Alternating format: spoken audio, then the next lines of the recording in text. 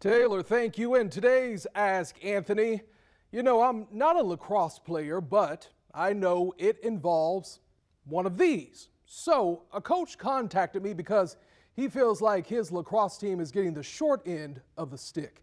His team has been just upset that they haven't been able to get to their games. So with nowhere else to turn, having to delay games and cancel them, they turn to me for help.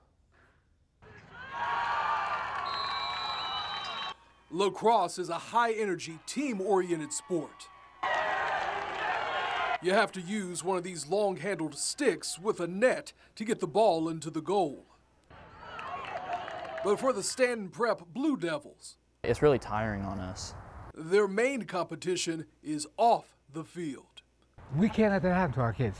Jim Condon is the boys lacrosse coach at Stanton Prep. He says Duval County Public Schools has a contract with a local bus company to take the team to their away games. But there's a problem. I would say unreliable, but that would be an understatement. He says the buses are delayed or they don't show up at all. We had eight away games this year. We had to drive ourselves to four of them. No bus. The other four, the bus was anywhere between an hour and an hour and a half late. Coach Condon says that has put unnecessary stress on his players and it affects their performance. Elijah Coulange is a senior on the team. Because of this, we've always been late to our games, or we've had to push them back, or even cancel them. If they don't want to cancel, the players have to drive themselves at the last minute. I've got some great young men here.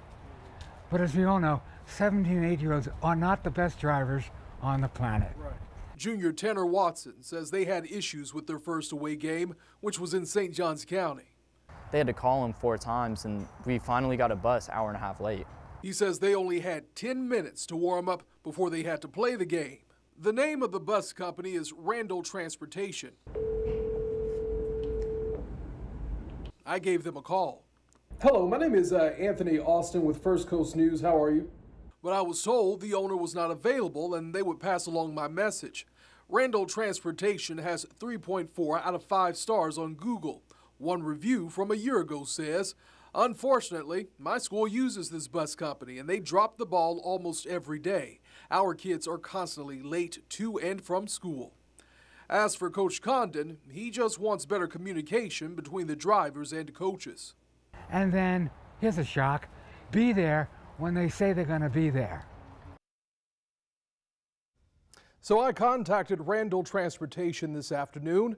This was my third phone call since yesterday. The person who answered said they would not be discussing this situation with me and they hung up the phone. I did receive a statement from Duval County Public Schools. It reads in part, we're sorry to hear of this report. Uh, the district actually provides schools with a list of 16 common carriers. Schools can use multiple carriers throughout the school year as they deem necessary. We would be happy to connect this individual with school or district leadership who can assist him. Remember, if you have a problem you just can't solve, you can always email me at askanthony at firstcoastnews.com.